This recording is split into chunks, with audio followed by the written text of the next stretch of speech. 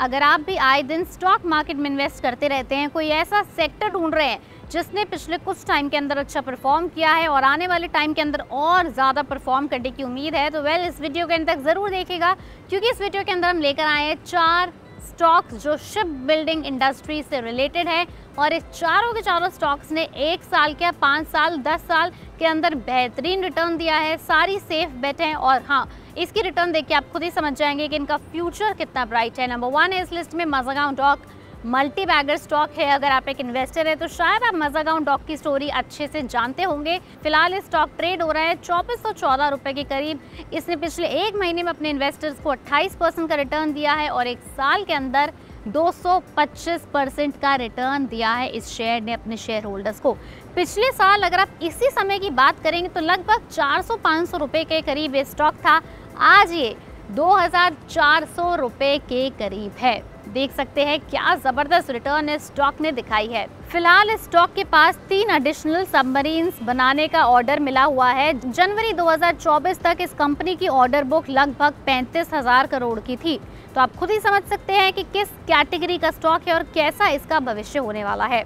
इसके बाद number two इस लिस्ट में आता है कोची शिपयार्ड लोग तो ये भी कहते हैं, जो स्टॉक मार्केट में इन्वेस्ट करते हैं कि कोची शिपयार्ड अगला शेयर मार्केट का मजागांव डॉग बनने वाला है। इसने भी ऐसी ज़बरदस्त तेज़ी दिखाई है।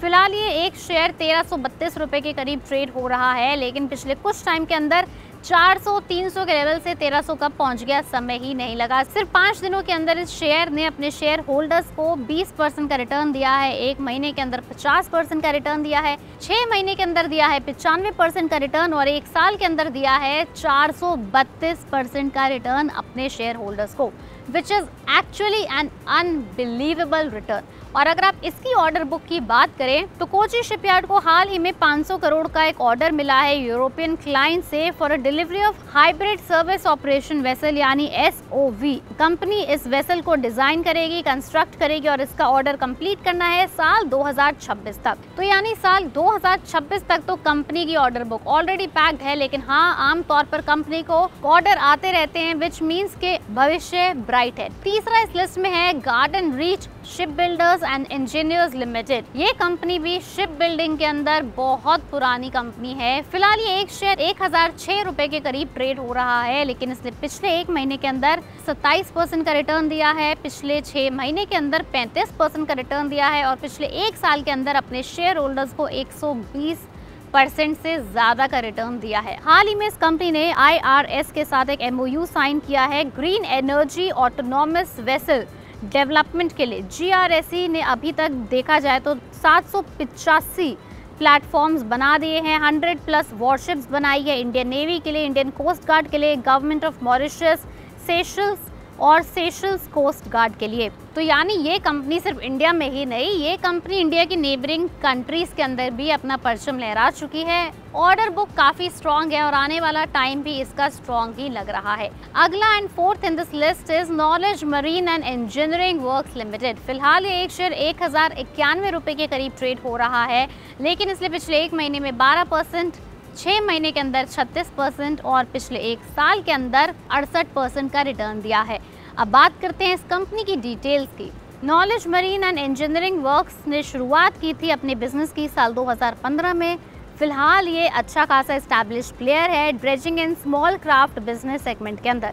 पिछले पाँच साल के अंदर इस कंपनी ने कई सारे स्मॉल शिप रिपेयर यूनिट्स बनाए हैं। कंपनी को फ़िलहाल तीन million Bahraini dinar which is equivalent to 66.38 crore rupees का एक ऑर्डर मिला है बहरेन से, जिसको फ़िलहाल ये कंपनी पूरा कर रही है। लेकिन अब आप ये सोचेंगे कि हमने चार शेयर्स तो बता दिए जिन्होंने बेहतरीन रिटर्न दिया है, लेकिन आखिर ऐसा हुआ क्या है इस सेक्टर के अंदर, जिसमें एवरेज शेयर्स ने सौ परसेंट से ज़्यादा का रिटर्न दिया एक साल के अंदर। जो फटाफट बता देते हैं, पिछले कुछ समय से India Atmanirbhar Bharat make in India concept indigenous vessels बनाने के ऊपर अच्छे से फोकस कर रही है। यानी कि जितने भी वॉरशिप्स बन रहे हैं सबमरीन से लेके सब कुछ which is related to Indian defence ज़्यादातर सामान इंडिया के अंदर ही डेवलप हो रहा है और सिर्फ़ इंडिया के अंदर डेवलप नहीं हो रहा, बहुत सारी नेबरिंग कंट्रीज़ को इंडियन डेवलप्ड सामान जा भी रहा है एक्सपोर्ट भी हो रहा है। इस वजह से इन सभी, इन चारों के चारों कंपनीज़ ने बहुत अच्छा परफॉर्म किया है। प्लस जियो सिचुएशन को देखते हुए यू नेवर नो कब आपको कौन से वेसल की ज़रूरत पड़ जाए। तो अगेन कोई भी कंट्री अपने डिफेंस सेक्टर को सबसे ज़्यादा स्ट्रॉन्ग बनाकर रखती है, जिसकी वजह से ये चारों कंपनी फ़िलहाल बहुत ज़बरदस्त ग्रोथ दिखा रही हैं। तो इन शॉर्ट हम यही बोलना चाहेंगे कि इस इंडस्ट्री का फ्यूचर आने वाले कुछ समय में तो ब्राइट ही दिखता है। बाकी कॉल आपकी है, क्योंकि हम आपके पास सिर्फ़ इन चार शेयर्स की इन्फॉर्मेशन लेकर आए हैं। इसमें से किसी में भी इन्वेस्ट करने या ना करने की कोई डायरेक्ट सलाह नहीं दे रहे। ऐसे और एक्साइटिंग सेक्टर्स की अगर आपको जानकारी चाहिए, उसके लिए आपको फॉलो करना होगा सब्सक्राइब करना होगा, पैसा लाइव